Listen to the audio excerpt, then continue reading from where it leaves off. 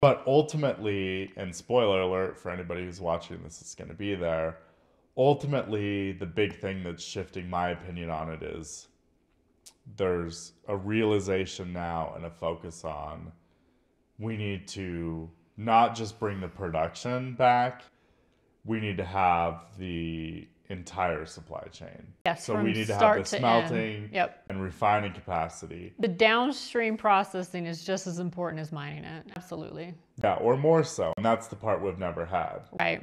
So That's going to be the biggest hurdle. For now sure. that they're solving that problem and they're working towards that problem, all of these smaller projects like recovering rare earths from coal, from fly ash, from Mm-hmm. acid mine drainage, from different things, and actually recovering the valuable materials out of it, if you have the downstream ability to extract the value, then those projects all start to look a lot more feasible. yeah, So definitely. that's that's going to kind of be my core message. And all these moves really highlight how the U.S. is shoring up the supply chain and critical minerals, Mm-hmm. both by investing in domestic mines and partnering abroad.